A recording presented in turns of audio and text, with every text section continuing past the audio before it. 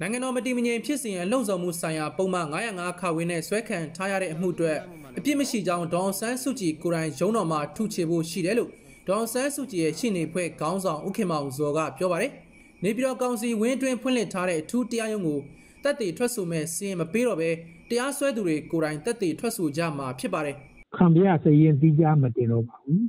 ဟင်အဲဒါကြောင့်မလို့ဒီဟိုဟာတွေကိုဆွဆွဲခံရသူတွေကို ဟိုရုံးရိပ်တစ်ချင်းစီပေါ့ဗျာစစ်ဖို့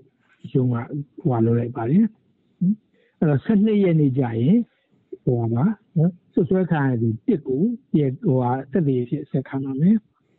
နောက်26ရက်နေ့ကျတော့ဆွဆွဲခံရသူနှစ်ကိုတက်သေးဖြစ်ဆက်ပါမယ်နောက်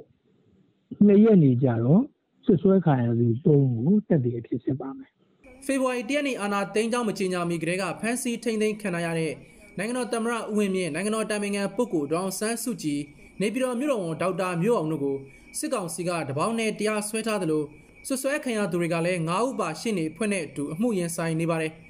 အခုမှုမှာတော့မြို့သားဒီမိုကရေစီဖွဲ့ချုပ်ပါတီ NLD ခေါင်းဆောင်တွေလည်းဖြစ်ကြတဲ့သူတို့၃ဦးစလုံးကိုဖမ်းခံရပြီးနောက်ပိုင်းမှာပါတီကထုတ်တဲ့ကြေညာချက်နှစ်ဆောင်ကိုအကြောင်းပြုပြီးစစ်ကောင်စီကတရားစွဲထားတာပါ ဆွဆွဲခံရသူတွေကတော့သူတို့ဖမ်းခံရပြီးမှထုတ်တဲ့ပါတီကစာနှစ်ဆောင်နဲ့ပတ်သက်လို့သူတို့မှအပြစ်မရှိကြောင်းအရင်တရက်ခွင်းနေမှတောက်လျှောက်ခြေပခဲ့ပါတယ်ပြီးခဲ့တဲ့သတင်းပတ်ကတော့ဆွဆွဲခံရသူတွေဘက်ကတက်တည်ထွက်ဆိုပေးမဲ့သူတွေကိုစစ်ကောင်စီကရန်ညိုးဖွဲ့မှာဆိုလို့ဥပဒေအချက်လက်နဲ့ပဲထုချေဖို့တိုင်ပင်နေကြတယ်လို့ရှင်းနေဖွဲ့ကမြန်မာနောင်းကိုပြောထားပါတယ်ဒီကနေ့အောက်တိုဘာ9ရက်နေ့ဂျုံချင်းမှာလဲဒေါအောင်ဆန်းစုကြည်ကသူ့အမှုတွေကိုနှစ်ပတ်တစ်ခါစစ်ဆေးပေးဖို့တရားရုံးကိုစာတင်တယ်လို့ဥခင်မောင်ဇော်ကဆက်ပြောပါတယ် ဒေါအောင်ဆန်းစုကြည်ကအဲ့ဒီမနေ့ကရုံးချင်းဒီမှာလိုပဲဒီအမှုကိုဟိုတစ်ပတ်ချားတစ်ခါစစ်ဆေးပြီးဖို့ရှောက်တော့တင်ပါတယ်ဟင်